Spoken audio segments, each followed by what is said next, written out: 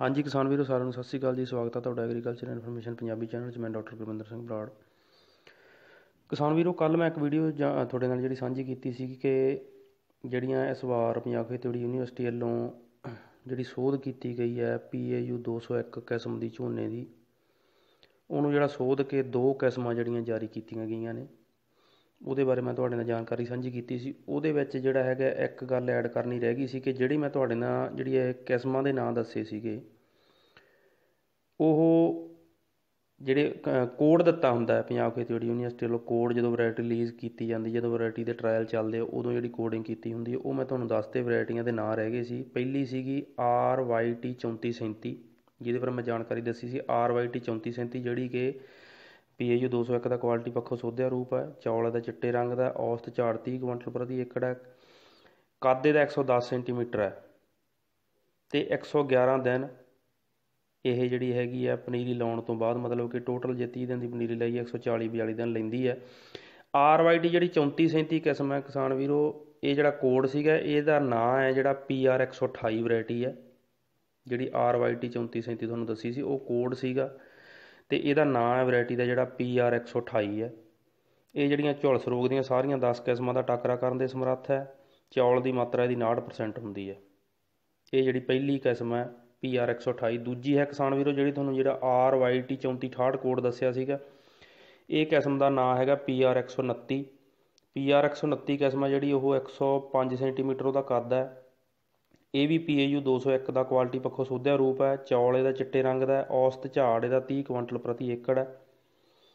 ਤੇ ਪਨੀਰੀ ਜਦੋਂ ਆਪਾਂ ਖੇਤ ਦੇ ਵਿੱਚ ਲਾਤੀ ਤੇ ਉਸ ਤੋਂ ਬਾਅਦ ਜਿਹੜੇ ਹੈਗੇ ਇਹ 108 ਦਿਨ ਲੈਂਦੀ, ਮਤਲਬ ਕਿ ਜੇ ਆਪਾਂ ਪਨੀਰੀ 30 ਦਿਨ ਦੀ ਲਾਈਏ ਤਾਂ ਤਕਰੀਬਨ ਜਿਹੜੇ ਹੈਗੇ ਇਹ 138 ਤੋਂ 140 ਦਿਨ ਜਿਹੜੇ ਹੈਗੇ ਆ, ਇਹ ਵੈਰਾਈਟੀ ਲੈਂਦੀ ਕਿਸਮ PR 129 ਸੋ ਜਿਹੜੀਆਂ PAU 201 ਤੋਂ ਸੋਧੀਆਂ ਕਿਸਮਾਂ ਨੇ, ਉਹਨਾਂ ਨੂੰ ਜਿਹੜਾ ਹੈਗਾ PR 128 ਤੇ PR 129 ਇਹ ਪੜਿਆ ਜਾਵੇ।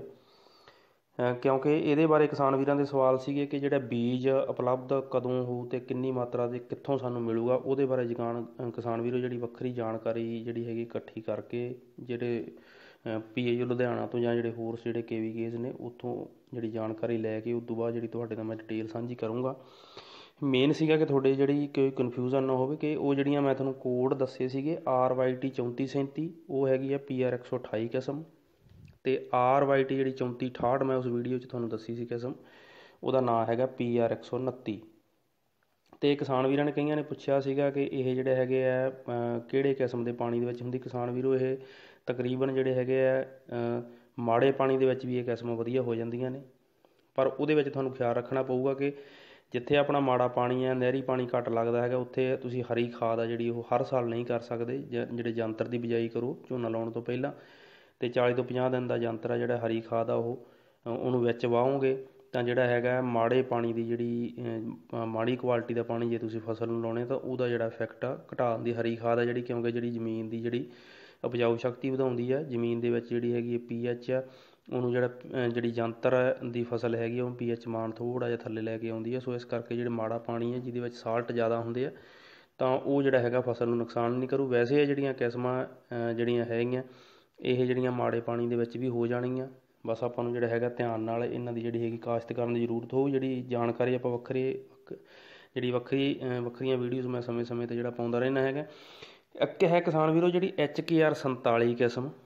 ਉਹਦੇ ਬਾਰੇ ਕਿਸਾਨ ਵੀਰਾਂ ਨੇ ਪੁੱਛਿਆ ਸੀ, ਇਹ ਕਿਸਾਨ ਵੀਰੋ HKR 47 ਜਿਹੜੀ ਨੋਟੀਫਾਈ ਪਹਿਲਾਂ ICR ਵੱਲੋਂ ਕਾਫੀ ਟਾਈਮ ਪਹਿਲਾਂ ਜਿਹੜੀ ਨੋਟੀਫਾਈ ਕੀਤੀ ਗਈ ਸੀ ਇਹ।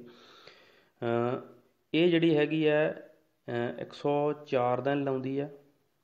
ਜਦੋਂ ਆਪਾਂ ਜਿਹੜੀ ਪਨੀਰੀ ਪੁੱਟ ਕੇ ਖੇਤ ਚਲਾਤੀ ਉਦੋਂ ਬਾਅਦ 104 ਦਿਨ, ਮਤਲਬ ਕਿ 135 ਦਿਨ ਇਹ ਲਊਗੀ, ਜੇ ਤੁਸੀਂ 30 ਦਿਨ ਦੀ ਪਨੀਰੀ ਲਾਓ।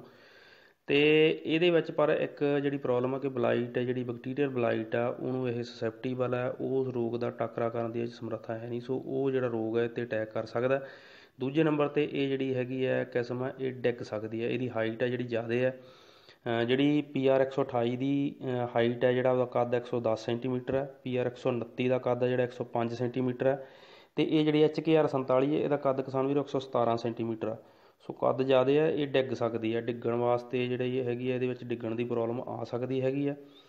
ਸੋ ਬਾਕੀ ਜਿਹੜੀ ਇਹ ਹੈਗੀ ਹੈ ਇਹ ਸੀਲਾ ਚੌਲ ਬਣਾਉਣ ਵਾਸਤੇ ਐੱਚ ਕੇ ਆਰ 47 ਵੈਰਾਈਟੀ ਬੜੀ ਵਧੀਆ ਪਾਰ ਬੋਇਲਿੰਗ ਵਾਸਤੇ।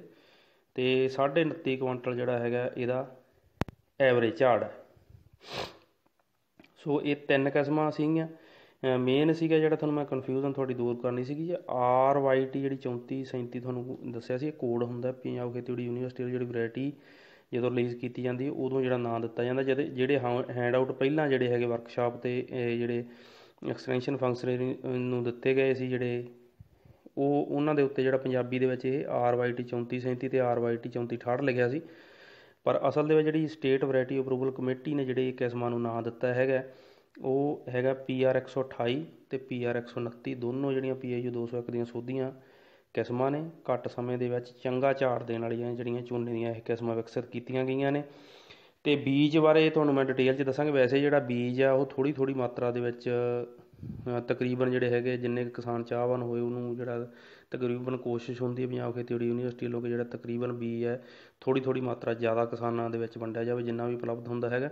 ਬਾਕੀ ਜਿਹੜੀ ਡਿਟੇਲ 'ਚ ਜਾਣਕਾਰੀ ਹੈ ਜਿੱਥੇ ਜਿੱਥੇ ਜਿਹੜੇ ਕਿਸਾਨ ਮੇਲੇ ਲੱਗਣੇ, ਕਿੰਨਾ ਕੁ ਬੀਜ ਉਪਲਬਧ ਆ, ਉਹਦੇ ਵਾਸਤੇ ਜਿਹੜੀ ਵੱਖਰੀ ਤੁਹਾਡੇ ਨਾਲ ਵੀਡੀਓ ਮੈਂ ਬਣਾ ਕੇ ਤੇ ਤੁਹਾਡੇ ਨਾਲ ਜਾਣਕਾਰੀ ਮੈਂ ਸ਼ੇਅਰ ਕਰੂੰਗਾ। ਸੋ ਉਮੀਦ ਹੈ ਕਿ ਕਿਸਾਨ ਵੀਰਾਂ ਨੂੰ ਜਿਹੜਾ ਹੈਗਾ ਉਹ ਕਲੀਅਰ ਕੱਟ ਜਿਹੜਾ ਪਤਾ ਲੱਗ ਗਿਆ ਉਹ ਕਿਸਮਾਂ ਬਾਰੇ। ਸੋ ਤੁਹਾਡਾ ਬਹੁਤ ਬਹੁਤ ਧੰਨਵਾਦ। ਵੀਡੀਓ ਵੱਧ ਤੋਂ ਵੱਧ ਸ਼ੇਅਰ ਕਰ ਦਿਓ ਜੀ ਕਿਸਾਨ ਵੀਰਾਂ